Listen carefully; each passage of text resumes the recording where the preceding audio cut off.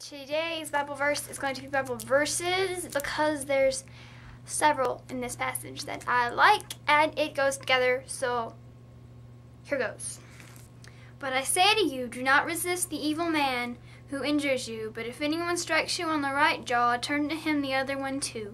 If anyone wants to sue you and take your tunic, let him also have your coat. If anyone forces you to go one mile, go with him too.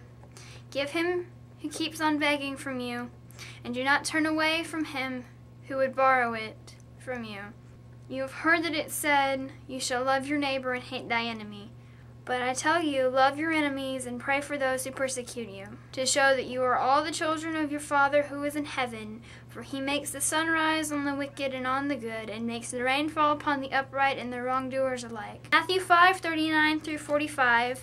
And that was the passage that the song The Fruits of the Spirit that I put up, think right there. And that was the passage that I wrote it on because most of my songs are written on Bible verses. So, I love you. Jesus loves you. Keep smiling.